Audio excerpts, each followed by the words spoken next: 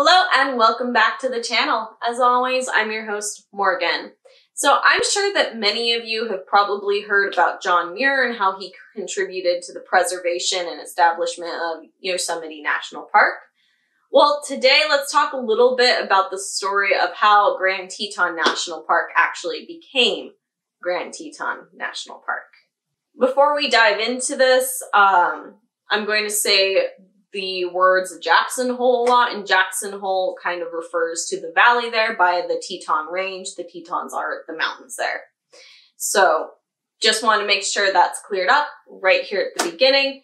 And also, if you want some more naturey educationally content, please consider subscribing and possibly even giving me a like. All right, let's dive into this now. Now, Grand Teton National Park and the areas surrounding it actually has prehistoric beginnings with its relationship with mankind. About 11,000 years ago, the first humans were able to enter the Jackson Hole area and the Teton Range when the Pleistocene age glaciers retreated. This is a pretty common tale with other mountainous areas with valleys like that in North America. This is also similar to Yosemite National Park, where a lot of the landscape there was carved by glaciers. The valleys and the mountains here, glacial activity helped carve them as well. And so once those glaciers retreated, people were able to take advantage of the land that was uncovered, and not just people, the wildlife as well. And ever since that time, Native Americans have been taking advantage of the summers where resources are quite abundant in the area and retreating along with the herds that they followed for hunting and all that fun stuff in the winter because the winters in that area are very harsh. So summers are a time of plenty and then winters are follow the herds and find somewhere to escape the harsh weather. Specifically, Shoshone, Blackfoot, Bannock, Crow, Flathead, Gros Ventre, Nez Perce, and many more tribes of Native Americans were quite established when the first European explorers set foot into the area that would soon become the national park. Let's start with John Colter. So John Colter was possibly the first person of European descent to ever enter Jackson Hole. He was originally part of the Lewis and Clark expedition, but he left in the fall of 1806. He traveled in the Grand Teton area in the winter of 1807 1808. However, he left no written record of his journey, so this is where his story ends for us, and a lot of what is known is fuzzy at best. After that, the area became popular with fur trappers or mountain men because in the early 1800s, fur topped hats were quite fashionable and the Grand Teton area has quite a few beavers that they just wanted to turn into hats. Now, since this whole Grand Teton area is part of the greater Yellowstone ecosystem, we know that there are all these fun rivers and stuff, and the beavers and the beaver ponds are a big part of the ecosystem. So there were a lot of beavers there. And fur trappers flocked to Jackson Hole. And a lot of them based their operations in the area, which meant the beaver population actually rapidly declined. And then fashion trends favored silk hats after that as fur became more expensive and all that stuff. And fashion is fickle. Fashion trends change all the time. So by the 1840s, the mountain man era had essentially faded from the area. But then that leads us to America's westward expansion and the expeditions that traveled the area because of that. Now, these expeditions were mapping the landscape, they were documenting natural resources, and they were searching for new areas to lay the foundations for railroad access because at that time, railroads were the hot thing to get goods from point A to point B, and people as well. There were three notable expeditions that did a lot of this work and greatly expanded our knowledge of the Teton Range, especially at that time. One was under the command of Captain W.F. Reynolds in 1860, another Ferdinand V. Hayden in 1872, and then Gustavus C. Doane in 1876. We're not going to go into the specifics of all those expeditions because it would take way too much time, but those are three notable ones that if you want to learn more about them, have at it. So that brings us to homesteaders. So the Homestead Act of 1862 encouraged people to move westward, but homesteaders didn't actually come to Jackson Hole until 1884. So that is quite some time. And they weren't exactly met with the most favorable conditions despite these summers of bounty that were taken advantage of by Native Americans and despite the prosperity that fur trappers had in the area. So what were they met with? Well, there was a lot of rocky, sandy soil and these long, cold winters and very dry summers. So not exactly the best conditions for setting up a little farm and establishing a life. However, there are a couple of homesteads that we're going to talk about that helped shape the area. The first one is known as Mormon Row. And it was originally named Grovont by the US Post Office, but if you're going to be looking it up, it goes it's under the name Mormon Row now, and if you go to the Grand Teton website, it's under the name Mormon Row. So it was established in 1890 by a party sent by the leaders of the Church of Jesus Christ of Latter-day Saints or Mormon Church for those of us that are not offended by saying Mormon Church from Salt Lake Valley. At this time, remember that the Mormon Church had gotten pushed into Utah and the Salt Lake area. So they were looking for other areas to establish, and this was one of the areas that they sent a party. There were 27 homesteads in the Grovont area with relatively fertile soil, which is surprising because remember the soil conditions that most homesteaders were met with was this kind of rocky, sandy stuff that one wouldn't think is great for planting.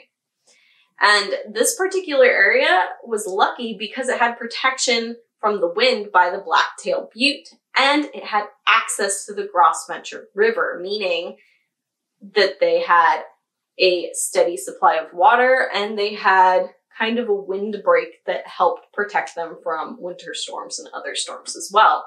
Plus that fertile soil, they got very lucky.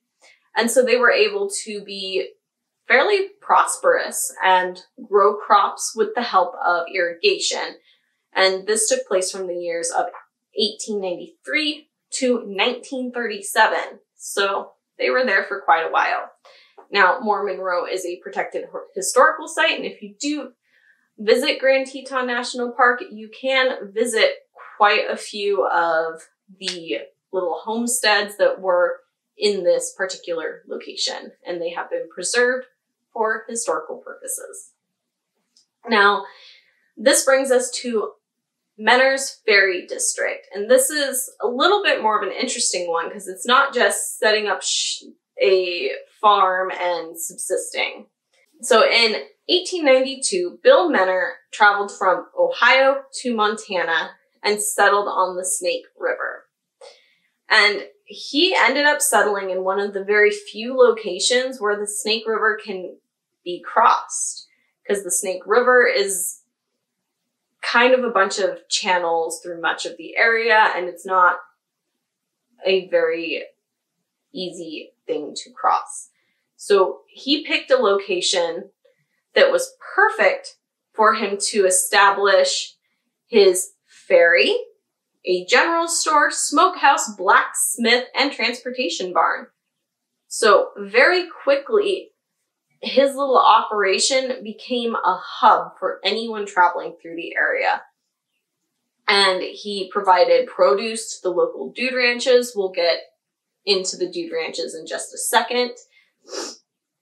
And again, since he was a hub for anyone traveling through the area, you could find anyone from mountain men to travelers to these rich people going to stay at the dude ranches, stopping at his little hub, especially since he had a ferry and was one of the only ways to safely get across the Snake River.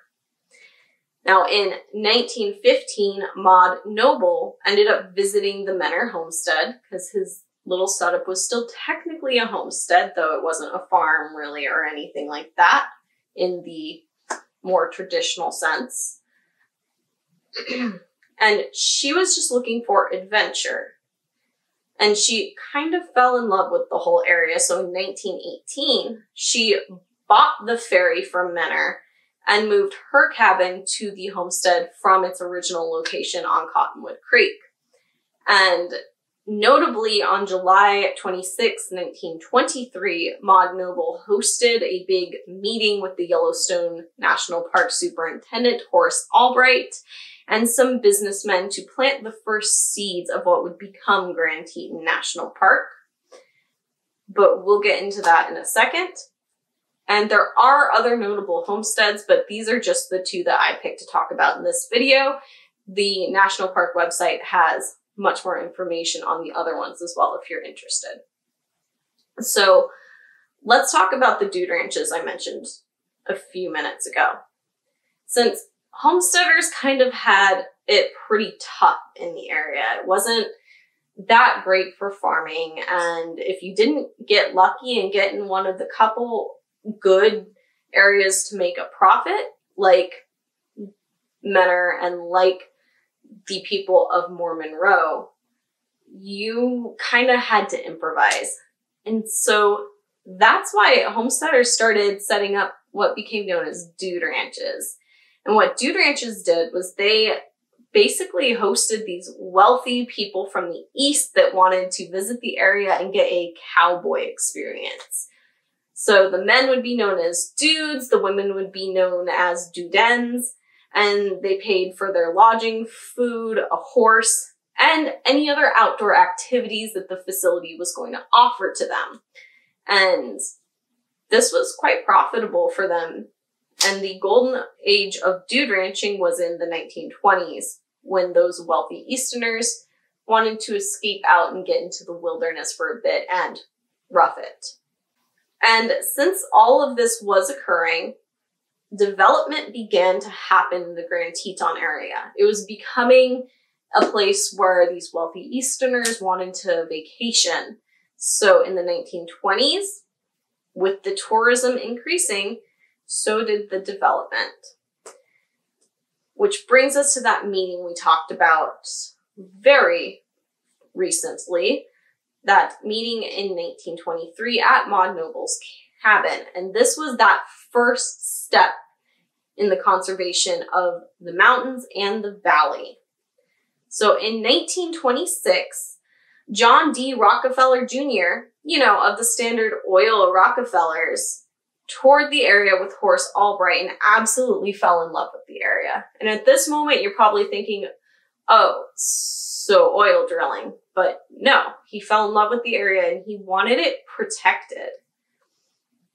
So he spent the next two decades purchasing 35,000 acres of land through the Snake River Land Company with the intention to donate that land to become part of Grand Teton National Park.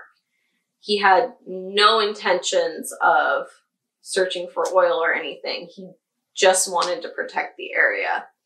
And this was actually quite controversial amongst the locals that were not exactly trusting of donating the land to the government. That seemed like a bad idea to them.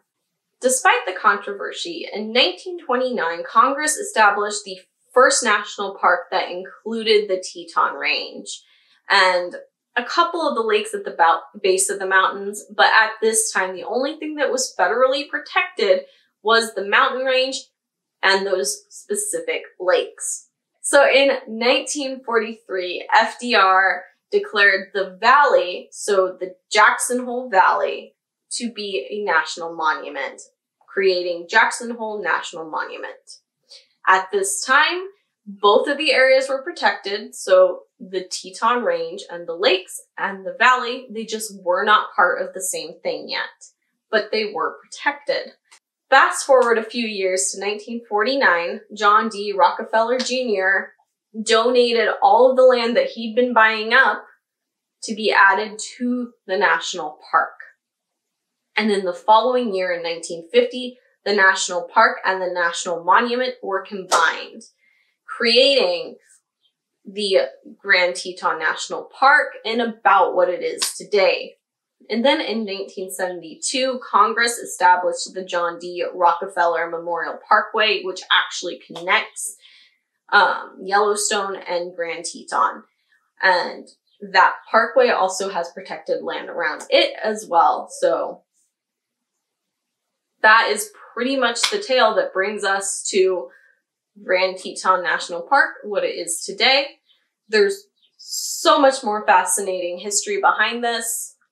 What I find a little bit the most fascinating is that someone from this big old money oil company family looked at all of this beautiful mountain range, beautiful valley, and just didn't want to destroy it. His instinct was, I need to buy this land to protect it. And honestly, that gives me a little hope for humanity, even though that is not what we see in this day and age. But I don't want to be a downer here. I do really suggest that if you are into history, please head over to the Grand Teton website. I have uh, the link to specifically their history page linked down below and shovel through that because you can easily spend hours on it. They've got some really cool old photos of all of the places that we've talked about today and more. And what I'm going to be using while I'm in the park is the Grand Teton app so that we can do self-guided history and nature tours as well. My partner's really into history, so we're probably going to spend a day driving around to the historical sites. And I do hope you have a wonderful rest of your day, afternoon, evening, what have you. Don't forget to like, comment if you have anything that you would like to share down in the comment section below. Please keep the conversation going and even consider subscribing if you feel so inclined. I will see you all in the next one. Thank you again for watching this video. Don't forget to like, comment, subscribe, and ring that bell if you would like to see more. And if you'd like to follow me on any of my other social medias, the links are down in the description below. Don't forget to check out thereptilegoth.com for all of my articles and blog posts. If you found any value in this video and you would like to help support the channel, please check out my Patreon page. That link is also in the description down below. And a special thanks goes out to my Diamond Dragon patron, Diane V what you're doing is really helping me fund a dream here. I will see you guys all in the next one.